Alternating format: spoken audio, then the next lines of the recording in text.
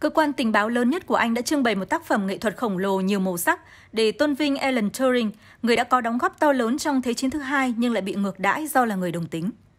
Tác phẩm nghệ thuật dài 10 mét với trung tâm là hình ảnh khuôn mặt Alan Turing. Xung quanh là cỗ máy do ông thiết kế có tên là Bomb. Đây là cỗ máy giúp giải mã hệ thống Enigma, thứ vũ khí tối thượng của phát xít Đức, góp phần giúp phe đồng minh chiến thắng trong chiến tranh thế giới lần thứ hai. Được coi là cha đẻ của máy tính hiện đại, Alan Turing cùng một đội ngũ đã giúp điệp viên Anh bẻ khóa được mật mã Enigma của Hải quân Đức Quốc xã. Bước đột phá này đã được đưa vào bộ phim The Imitation Game Người giải mã năm 2014, được đề cử giải Oscar năm 2015 cho phim hay nhất. Có đóng góp lớn như năm 1952, Alan Turing bị xét vào tội cư xử không đúng khuôn phép do có quan hệ với một người đồng giới và bị buộc phải tiêm hormone. Hai năm sau, ông ăn một quả táo tầm cyanua để tự sát ở tuổi 41. Tác phẩm này do nghệ sĩ 3D Joe Hill sáng tác, có 15 mã ẩn.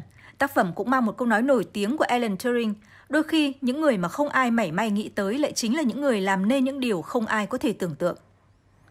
Cho đến nay, những nghiên cứu của Turing vẫn được xem là một trong những chuẩn mực để đánh giá các máy tính và trí tuệ nhân tạo.